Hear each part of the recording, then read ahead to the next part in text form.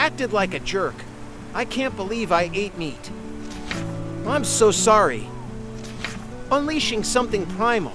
Cyborg says the chemicals in the lab messed with my DNA. You weren't yourself. Yeah, but that thing, it came from inside me. And it's still there. I can feel it. And he gave you an antidote. You're better now. I might not be here right now. Good. Hmm? If it wasn't for that beast.